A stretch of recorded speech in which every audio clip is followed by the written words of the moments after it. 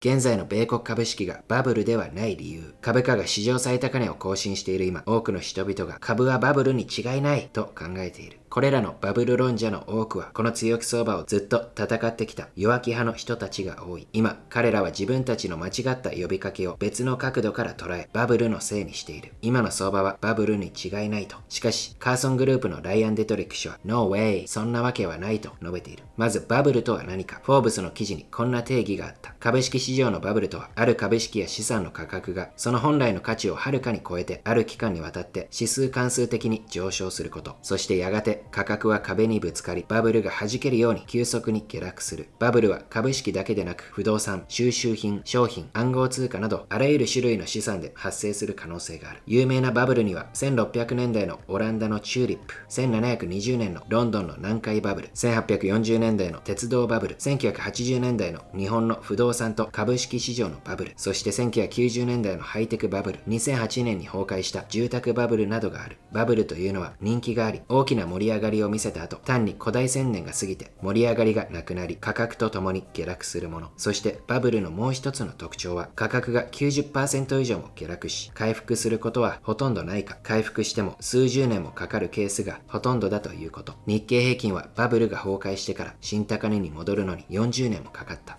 1990年代後半、社名にドットコムをつけただけで急騰した企業がどれだけあっただろうか。最近では2021年のミーム株ブームがバブルとして際立っている。これらの銘柄の多くはほとんど価値がなく、潜在的な収益力も乏しく、将来の成長も弱かったにもかかわらず、トレーダーは驚異的な水準まで価格を押し上げた。案の定、その多くは地上に戻ってきた。その典型例が AMC だ。現在に話を戻すと、アメリカ株を牽引してきたマグニフィセント7はバブルなのだろうか。ライアン・デトリック氏は多くの人々がこう言っているが、これらの企業が大金を稼いでいることを忘れてはならないと述べた。アマゾンは今や薬を送ってくれるし、アップルはアップルペイで事実上銀行だ。かつては鉄道株は鉄道株でしかなかったが、こうした現在の大企業ではそうではない。こちらがマグニフィセント7の PER、テスラが55倍、アマゾンが41倍、最も低いのがアルファベットの21倍。30倍、40倍、50倍の PER は確かに割高だが、これをバブルというのは言い過ぎだとライアン・デトリック氏。1990年代後半は PER100 倍台がゴロゴロあった。確かに一部の銘柄はかなり割高だが、全体としてはバブルの兆候は見られないと彼は述べた。小型株は史上最高値を更新していないし、ナスダックは2021年11月以降、ほぼ横ばいだ。そして業績が本当に好調。実際、S&P500 種構成企業の12ヶ月先までの収益は、最近また過去最高を記録録している。S&P500 指数の12ヶ月後 PER は20.6倍。確かに株価は少し割高だが、決して歴史的に見ても異常ではない。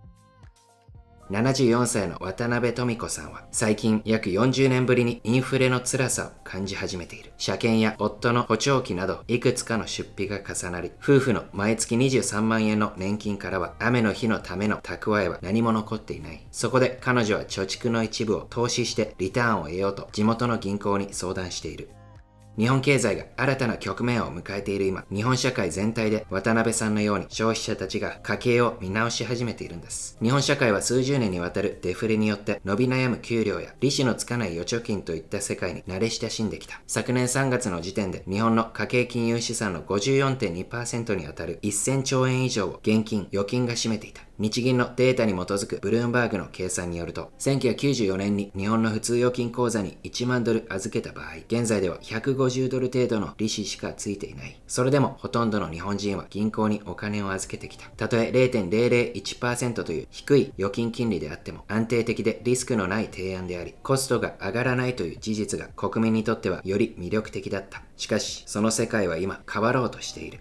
2月、日本の株式市場は1989年の記録を上回り、歴史的な最高値を更新した。インフレ率は2022年4月以降、中央銀行が政策転換の重要条件としている2%以上を維持しており、先週、国内企業は過去33年間で最大の賃上げに合意した。これを受けて日銀はマイナス金利を終了。2007年以来の利上げで0から0.1%の新たなレンジを設定した。このように見通しが変わったことで、日本は海外の投資家にとって再びエキサイティングな国になった。そして国内では年金生活者から中高年の会社員や新卒者まで金融に関する見直しが連鎖的に始まっている。個人の投資にも徐々に影響が出始めている。日本の家計資産のうち株式が前年比で29.2%増と現金の増加率を上回っている。市場の高騰が多くの家計にかなりのキャピタルゲインをもたらしたため、投資欲が変わりつつある。インベスコアセットマネジメントの木下智氏は2月時点で日本の10世帯に1世帯が600万円のキャピタルゲインを得たと推定している。日経平均株価は今月初めには初めて心理的水準である4万ドルを突破した。日本政府は最近 NISA を見直し、より有利な制度にしている。現金での貯蓄がこれ以上増えることはないだろうと木下氏は述べている。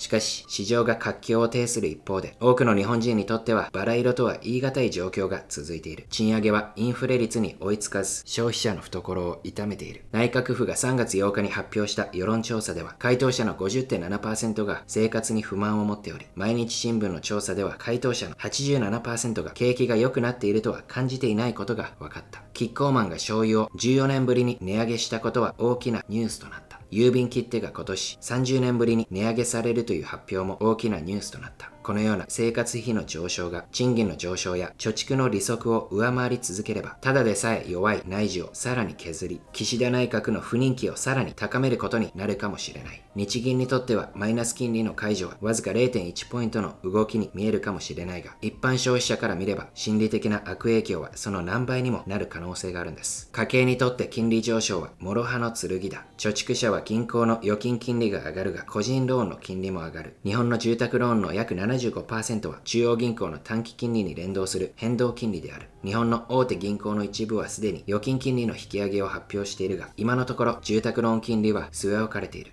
東京に住む24歳の新卒の木伏聖也さんは、大学のために400万円のローンを組んだが、そのほとんどは日銀に連動した変動金利ですと述べた。5年ごとに金利が調整されます。39歳までコツコツと返済するよりも、一気に完済するのが理想ですと述べていた。彼は現在、都内の家庭教師会社で事業開発に携わりながら独立を計画している。会社員として稼ぐには限界があるんです。そう彼は述べた。彼は給料の10%程度を投資口座に入れたいと考えている。しかし、今のところ、毎月の家賃やその他の家計費を支払うと、夫婦で貯蓄するお金は残らないということ。